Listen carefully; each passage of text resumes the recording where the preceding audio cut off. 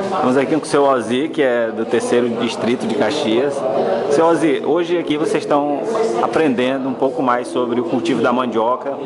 É, o que, que esse conhecimento aqui vai levar de benefício lá para a propriedade de vocês, né?